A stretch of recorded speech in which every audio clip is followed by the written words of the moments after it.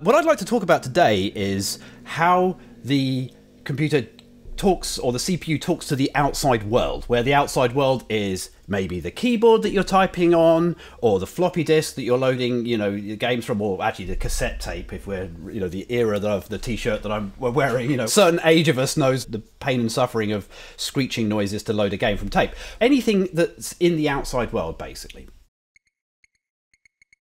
our sort of story so far is we have our, our, robot and he has his abacus and he has his pigeonholes and he has a few bits of paper that have like some really important pieces of information the registers that's like which instruction he's going to the, the, the location in the pigeonholes of the next instruction he's going to fetch um, various sort of in progress calculations that we called registers and other bits and pieces. So that's the story so far. But first of all i have to admit that i've been telling a little bit of a white lie. So the pigeonholes don't live in most computers don't live inside the CPU. They are actually outside. So in essence, the pigeonholes themselves are the very first peripheral, the first outside world thing that we've been talking to. It's just I haven't really classed it as that. Now, when we talked about caches that time, we did sort of allude to it a little bit that it's like a physical chip that it takes a long time to get information to and from, and so we had some some cache memory, and and sometimes the cache memory is actually inside the CPU and next to the CPU. But we're not going to talk about that part today. But so first of all, I want to explain how our robot in his CPU world, our CPU robot, how he talks to the the memory. And so I've got an analogy for you. Of course, I have. Um, so the robot lives inside a room, and poor robot doesn't get to go outside the room, unfortunately. Uh, so we're going to draw our robot with his funny ears, and he's inside a room, and I'm going to leave a little hatch over here. Oh, I'm not very good at 3D. I should have thought about how I was going to draw this before I just came and, and drew it, right? But I'm going to have two like windows. this is terrible. Um, this will be fixed in post by a very good animator, I'm sure. Um, so maybe these should be drawn like here. In fact, I'm going to draw them there and there. So this is us looking in from the outside world. Our poor robot. He has got his abacus in there with him, and he's got his various bits of paper that have the, you know, the accumulator register and the program counter and the flags, all the things we've talked about before, right? So those are that, that remains. But that's it. That's all he's got inside his little I keep wanting, I'm going to say room. I keep wanting to say prison because, but that sounds a little bit too mean to him. He's quite happy there. These two windows allow the robot to communicate with the outside world, and we're going to call one of them address and the other one data. Now, this address window is a window that the robot can hold up a card with a number written on it for the outside world to see. We're going to talk about what the outside world looks like in a second. The other window is more like a serving hatch, such as a 1970s house may have. Uh, again, if we talk about the era where the Spectrum reigned, then many of us grew up in houses where there was a little serving hatch between the kitchen and the dining room. Anyway, I'm really showing my age now. But the, the serving hatch is two way. I can put things out, I can actually put a number in the data window, or I can expect someone else to put a number to come the other way. And so this is sort of a two way window hatch, and this is a window where I just put a number up. And so every time the robot wants to talk to the memory, the pigeonholes, he's going to hold up a number in the address window, and then outside, in the outside world, there is a separate pigeonhole area, which I'm going to draw over here in, in Hopefully it's visible. And so there's our pigeonhole over here. And there's some kind of, I, I suppose it's another robot if we're going to go with robot. So this is the CPU robot over here. And we're going to have like the the memory or RAM robot over here, which, uh, you know, if I could draw a robot sheep, then it would be one of those, obviously. All he does is he looks out and every time he sees an address in the window in the room where the CPU is, he checks to see if it's a number that corresponds to one of the many, many, many pigeonholes that he has access to. And if it is, he goes and gets the number out and he puts it through the data serving hatch here. So that's one of the reasons why this takes time. All of the things that the robot's doing inside of the, his room, he can do quite quickly. Everything that involves communication with the outside world is a kind of a little bit of a, I have to wait for the other side to sort of respond to me. Now, that's when you're trying to read from the memory, we put the address up. There's probably another little flag over here that says read or write, right? And he kind of holds up a read flag or a write flag so that the, the, the people on the outside can tell the difference between either the robot is, the, the CPU is trying to write to memory or read from memory. And I'm saying memory here, but what I really mean is just write to a number. As far as the CPU is concerned, it's just reading and writing from some address. And it may be memory, it may be a pigeonhole, but it may not be. Um, For example, a quite reasonable way for us to allow you to type messages on a physical keyboard is to have a physical keyboard over here, which is a matrix of buttons, and each one of those is wired into a single switch. And if the switch, I can't draw switches, but you can imagine a switch has been drawn there. And we can sort of say there's another robot here, the keyboard robot, and he looks out for a very special number, and that number is, say, 1 million it's just a magic number 1 million. If the number 1 million comes up, that doesn't correspond to any of the memory in our pigeonholes. And so the pigeonhole robot's like, this isn't for me. But the keyboard robot goes, ah, this is my time to shine. And he looks at all the switches and he does some kind of encoding. In binary, it makes a lot of sense with switches, but you know, it's just a number that represents which switches are pressed down and which switches are up. So there's no real memory there. We're not storing any information. The, if anything, the information is stored in whether you're holding a key down or not, like literally and then he puts the the encoding of that number back inside the data hatch. So, and you could imagine there could be many other peripherals around here, like the disk drive. You know, is the disk drive spinning? Yes or no? We could say, okay, that's one million and one. The disk drive robot goes, oh, if it's one million and one, I'll give you a, a, one value when you ask to read. Um, if the disk drive is spinning, or a zero value if it isn't spinning. And also, the disk drive, you could write a value to 1 million and 1, and if you write a 1, to 1 million one, the disk drive robot goes, okay, I better turn the motor on, I suppose. And so it spins the motor up. And so you can see how you could communicate for it with the CPU to these various peripherals around the outside. So that's great. And that's fairly much how it does work. But there's a couple of snags. The first thing is, if you've got lots of peripherals around the outside here, how does the CPU know to check them? Now, with a keyboard, you could make the argument that you just check very regularly, like every you know, but if you imagine you're writing a program for example our very our now famous um, uh, uh, sequence fibonacci sequence program and maybe you wanted to say keep write keep writing out numbers until the escape key has been pressed. That means that me as the fibonacci program writer i have to check to see whether or not the escape key is being pressed. Every time round i catch uh, that loop i write my little loop and then at the end of the loop i go and read one address 1 million and if it happens to be 27 or whatever it is, then I guess we should stop now. And that's kind of tiresome. It puts a huge burden of responsibility on everybody who's writing a program to forever check for the keys. And if you've ever like used a, a, modern computer and you've started typing while a program is busy, sometimes you've typed a bunch of things and they haven't even appeared on the screen yet. But when finally the computer starts responding again, all those numbers appear. Uh, sorry, all those letters you typed in appear. It's like something was going on while you were typing. And so what happens is there is another mechanism. When the keys are pressed down, this robot wants to attract the attention of the CPU, wants to say, hey, something important has happened. You should take a note of this immediately. Drop what you're doing and just deal with me right now, please. That is an interrupt.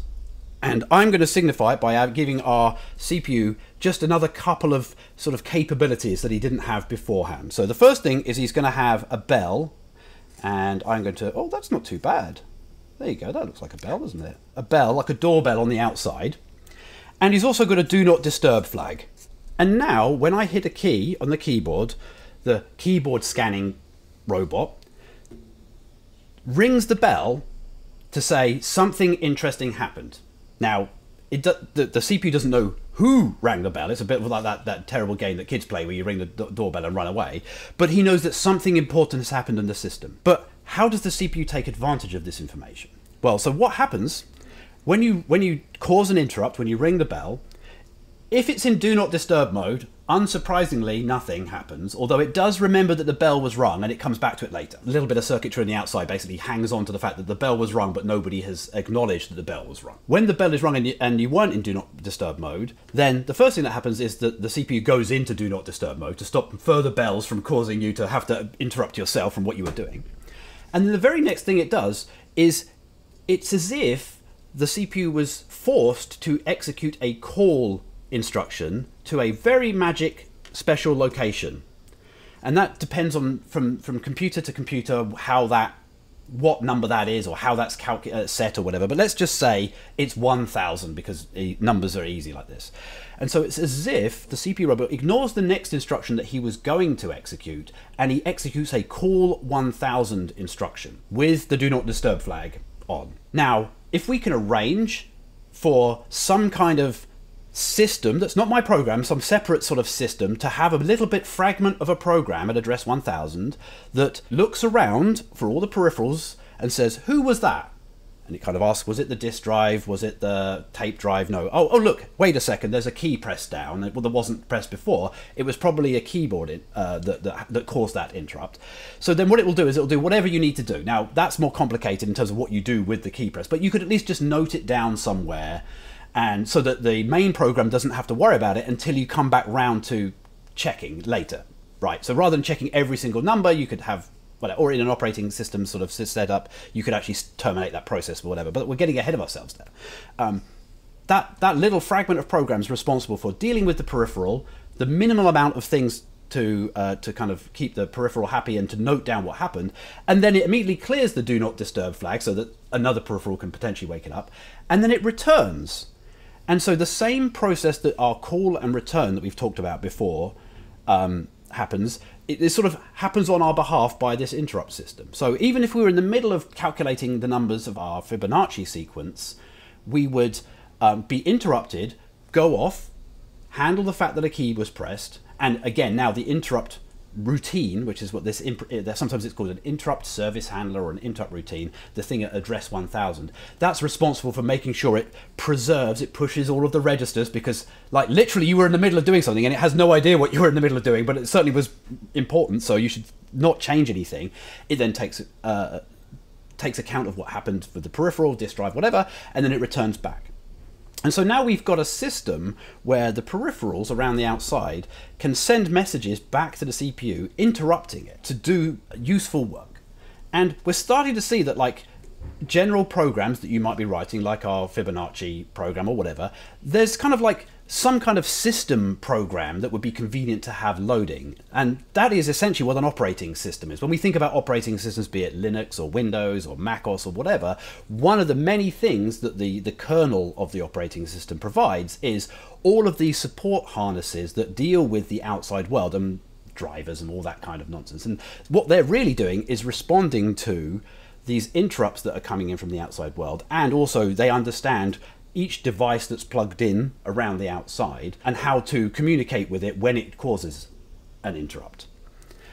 I suppose we should also talk about another way that devices can interact with the CPU, and that is some devices live kind of outside of the CPU. They're like a, I know we're talking about like these sort of arcane old devices really here, but like a webcam is a great example. So I'm looking at you through a webcam right now, and a staggering amount of information is being generated by that camera and it would be incredibly painful if for every color of every pixel as it's scanning across the screen it was interrupting the CPU saying hey I've got a red pixel for you I've got a and you're like no I can't do any meaningful work while you're doing that similarly um, if it had to store the whole picture or a sequence of pictures on the webcam then every webcam would have gigabytes of RAM just to store the image that was going on. And that seems like a waste, every peripheral. So what some devices can do, so we're going to draw a little webcam here. That's not terrible, is it? Look, it's more like a old school camera than it is a camera.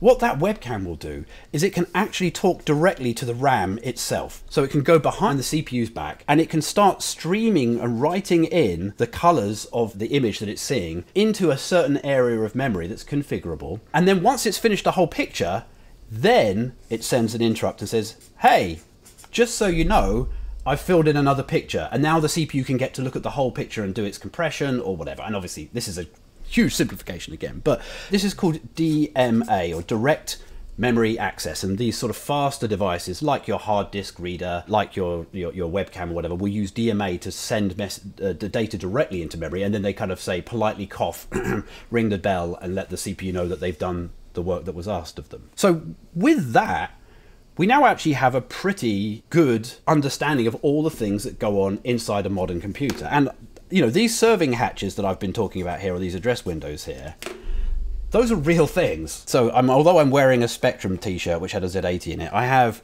uh, a 6502 here, which is a little bit smaller. I'll hold it up to this camera in case that's a better shot. So this is a 6502 CPU. This is like actually what was driving in the, the BBC Micro or the Apple II or what else? Uh, it was in at least, oh, the Commodore 64, which is like another classic machine. And these pins on the outside are the windows. Like the address bus is 16 bits worth of information.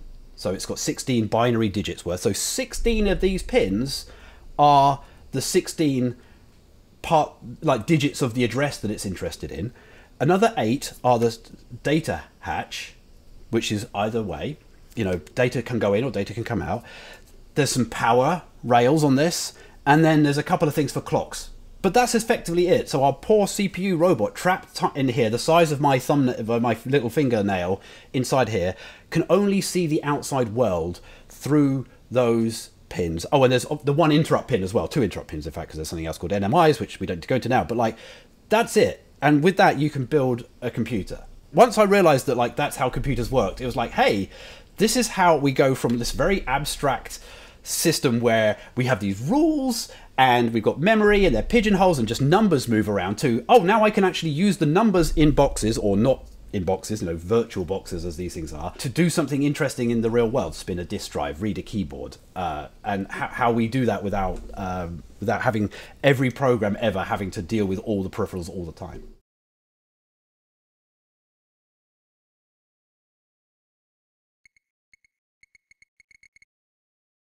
So this is like where the, the boundary between the physical CPU and its registers, of which it has exactly one stack pointer. So that CPU has one stack pointer.